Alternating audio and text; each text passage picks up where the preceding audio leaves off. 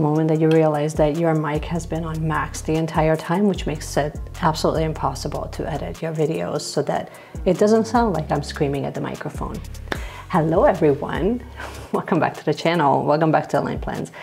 As you can tell by the title in today's video, we're going to be playing and swatching and painting some brand new fountain pen inks as well as we're going to also spend a moment to ink up my full collection of pens. As you can tell, I just finished cleaning everybody and they're all kind of just taking a moment to dry up in the sun, not really the sun, just on my desk. But I do have some brand new inks to show you, so therefore we're going to get into swatches. I will show you a close-up, so let me just get you guys zoomed in nice and close. So you can not only see the colors, I will also show you a close-up of it in like natural sunlight. Right now it's nice and sunny out, so it should not be an issue. So if you wanted to see some brand new inks, and you wanted to kind of see like what's actually going to be getting loaded up into my pens for the month of July, then just stay tuned and why don't we just get started because I'm so excited. All right, so first and foremost, if you're new and we've never met, my name is Meshi and I am the person behind Aligned Plans. We chat a couple of times a week here talking about minimalist planning, talk about functionality, talk about literally anything and everything under the world of planning and stationery. So if that's your jam, you should definitely subscribe if you have not yet already. Now for what are we using for supplies? Oh, I'm so glad you asked. Um, I do have my trusty, I believe it's a Kakuno pen. Um, the, I do have the stainless steel nib, which has been fantastic. I feel like you can barely see it. Here we go. So here's what she looks like um, for the swatches. These are like the little ink swatch paper that you can get. I just bought it from Paper Plus Cloth because they have like a stack of them. And for like the actual dollop, I love using just um, a watercolor brush, just mainly because it reminds me of me actually painting and maybe it will inspire me to get back into painting. Here's hoping. So we're going to get started with like, I have a, I literally just went a little bananas and I wanted to buy a whole bunch of swatches and a whole bunch of little samples. We have quite a few from Sailor, quite a few from Pilot. So I'm going to start with the easiest one because I have a full bottle of this. This is from Sailor. It's called Yoi. Hopefully I'm pronouncing it right. There's a really good chance I'm not. Please don't, please don't come after me in the, in the comments. Let us see. I'm, well, in all fairness, I have to say, I already swatched everybody and I'm quite happy with what I have seen. So there's that.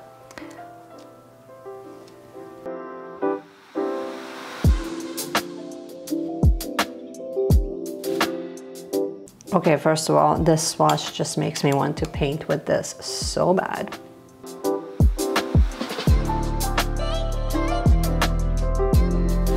Right? It, it looks like it's about to rain. You know what I mean? It looks like dark clouds are coming in. You better get, get in and cover. Thunderstorms. Anyways, I don't know. Maybe I'm just making it up, but it's definitely a very stunning color. Let's go on to the next one. Next up, we have also from Sailor. This is called Shikar, Shirakashi. So this is from Sailor Manyo, um, Shirakashi.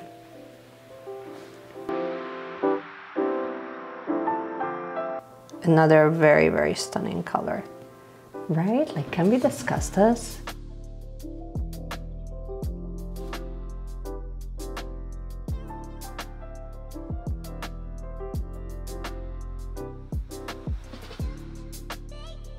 This actually looks like a darker version of of Hanging Rice from Troublemaker. This month I actually didn't pick up anything from Troublemaker. I'm kind of taking a break, but I'm happy to report that remember last month when we had that epic fail with uh, with Foxglove. So ever since then, I've been actually looking for something that could potentially replace it. And I think I found it, but it's something a little bit darker. This next one is from Pilot Iroshizuku, and this one is called Ajisai.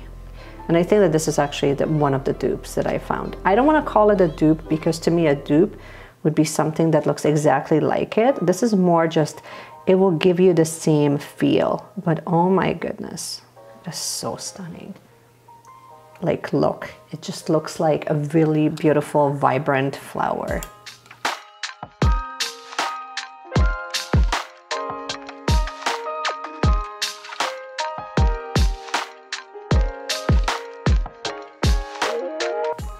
I'm going to just let this dry, but just take a look at the close-up. Next up, um, this is from Iroshizuku Kon, and it's called Peki. Another very, very stunning blue.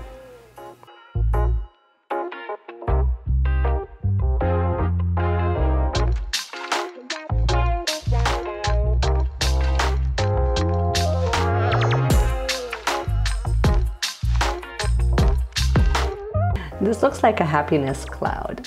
You know what I mean? Like when you when you were a child and they're like, just draw a cloud. This would be the color that I would think of. You know what I mean? It's like, okay, that's what I had in mind. Okay, let's move on to the last large one. Actually, no, there's one more large one. This one is also from Pilot Iroshizuku. This is called um. Tsutsuji.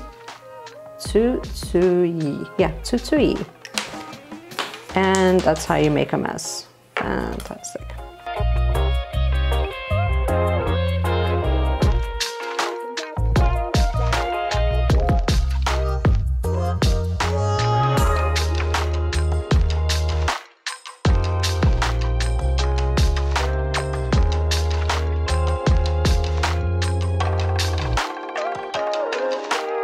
If this does not scream summer to you, I'm not sure what ever will. So beautiful. Next up, this one is actually from Ferris Wheel Press, which has been like a minute since I picked up something from Ferris Wheel Press. This one is called Jelly Bean Blue. I'm not sure why we're, oh my goodness, I'm so, I'm not good at this today. Okay, we're back now that I've made a mess a moment ago and ruin my sweater, it's okay.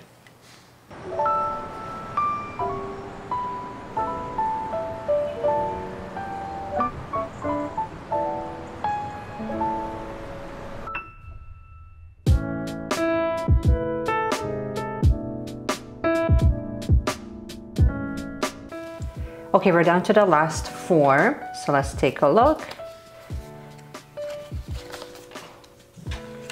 So next up we have We have one more from Pilot, Iroshizuku. This one is called Murasaki Shikibu.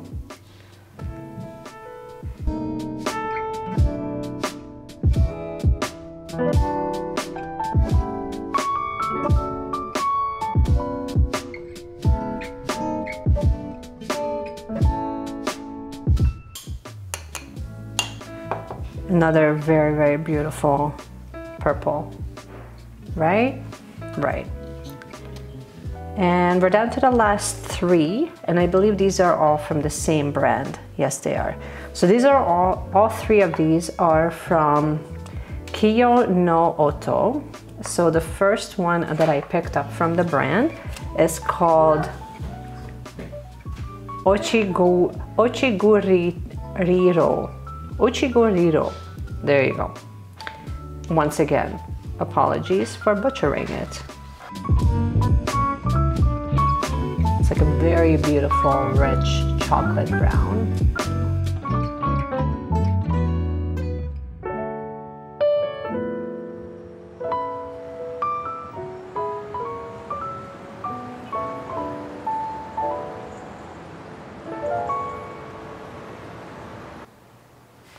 Same brand. Actually, what I'm going to do, now that the other colors have dried, we're just gonna use the back of it. So the next color that we have is called Euroshiro. Euroshiro. It still doesn't sound right. Again, apologies.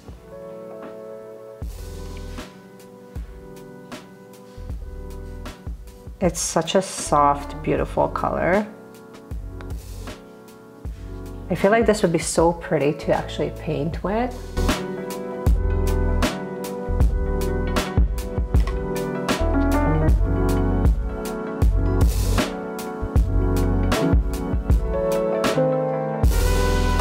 And last but not least, we have Seiheki. So this one's a beautiful green. It's like this very light, soft pastel green. See what I mean? Like I think that this would be so pretty to just paint with.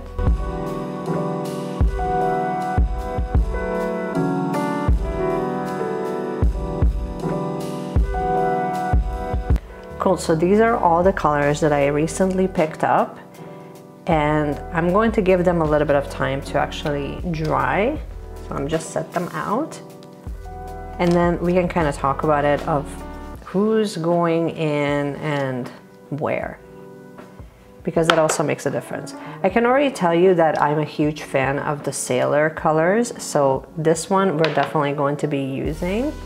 I also really love this brown color, but I don't want too many overlaps, so I'm not sure if this is going to make it, but definitely, definitely um, Aji Sai will, will be coming. I really love the Tsutsuji. To me, this just, this just absolutely screams summer. Here, let me just zoom out so you guys can see all of it. A little bit brighter on the colors on, here we go. So now you can kind of see everybody with like a little bit more bumped up in the colors. And of course, coffee of the day. This is literally just a bare bone basic Starbucks um, espresso with a little shot of vanilla creamer.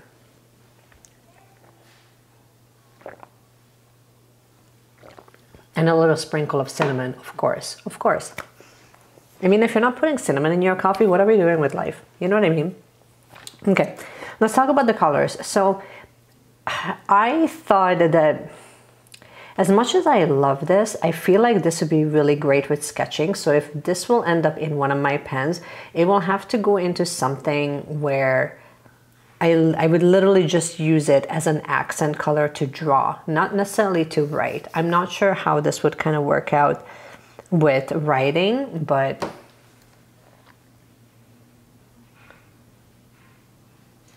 But anyway, so that's kind of how I feel about both of these. They look really, really stunning as sketching colors. Not necessarily to write with, but I think part of me wants to at least try one of them, maybe the red one, just to kind of see how it would actually function in one of my, maybe like, maybe I'm like one of my Kaweco sports and see what happens.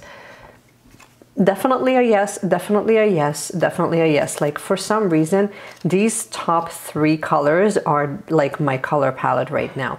I'm also really loving this as well as I'm trying to figure out where I swatched the two sailor colors. This one has this one, uh, the Yoi. And then, no, this one has Yoi. Again, I have to wait. I have to wait until everybody dries. First we'll press this Jelly Bean Blue. It, it does have like nice transitions. Again, let's get you zoomed in so you can see under the light but you can definitely see like the lines here. It looks really stunning. This I can't get enough of to me. This actually screams summer.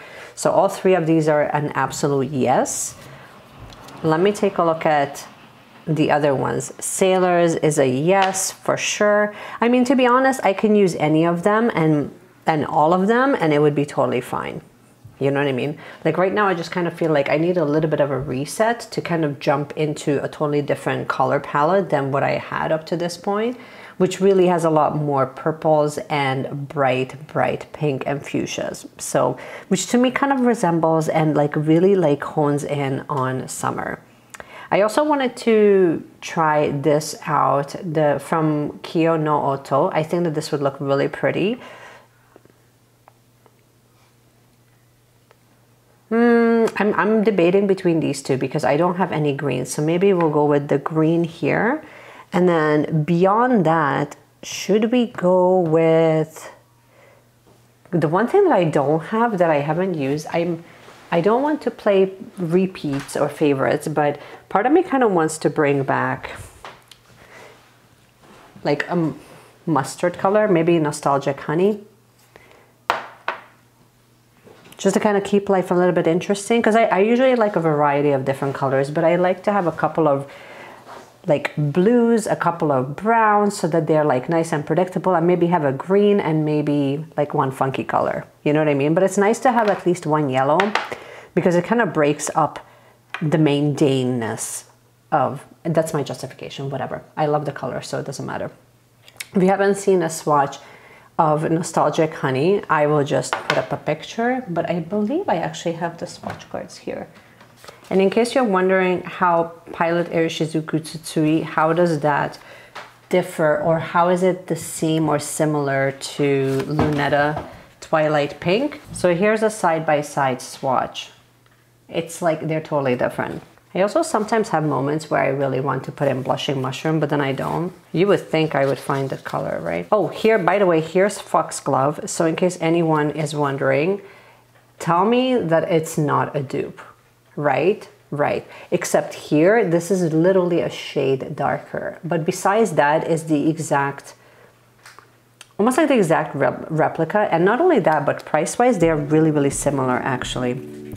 Um, I do believe that Foxglove is a little bit, um, it's a little bit more affordable, but not by much. And the other part of it is too that keep in mind that because Pilot has a slightly darker shade, it honestly, it just makes it, in my opinion, a little bit more palatable.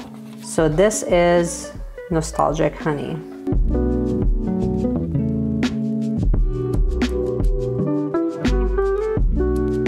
No, and it's not Troublemaker, it's Guitar.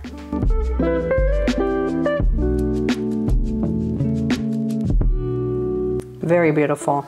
I mean, honestly, I can literally go for this color at any time. It's just so beautiful and rich until everything dries. And in the meanwhile, I can actually show you guys a close-up. These guys are still drying. This is almost completely dry. The pastel colors were almost completely dry. This is now dry, so here we go. Uh, let me see how we're doing here almost dry, still a little bit of a sheen left.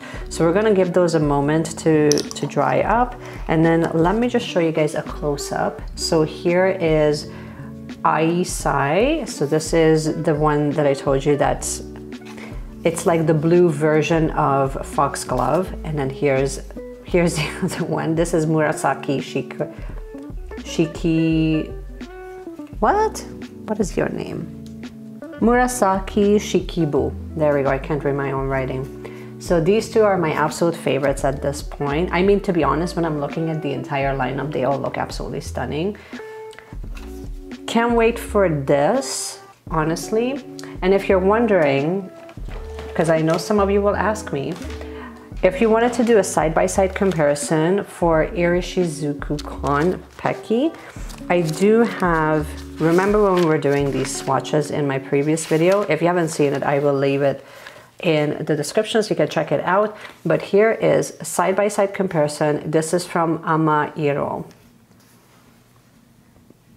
Similar, but not quite. But they're, they're, they could almost be a dupe to, for each other. Um, Tsukiyo, not even close. We're not even in the same realm. Albolone, absolutely not. Yeah, like the closest I got is actually Amairo. So if you're wondering, like, do they compare? They absolutely do. In my opinion, they do. This one is a little bit deeper. And this one, it definitely has a bit of a sheen to it. So just kind of keep that in mind.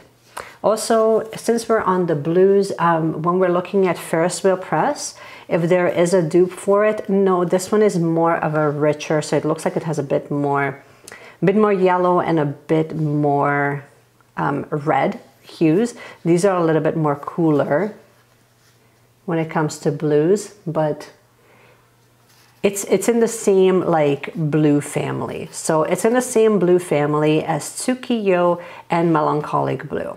So just kind of keep that in mind. But I definitely love this shade of blue. I think I think we're gonna go with that. I don't think I want to do like four different pens to just load them up with blue. So we're gonna introduce a bit of a variety here. I'm trying to find the swatch card for, here we go. So here is the Sailor Manyo Shirakashi. Again, very similar family, but not quite.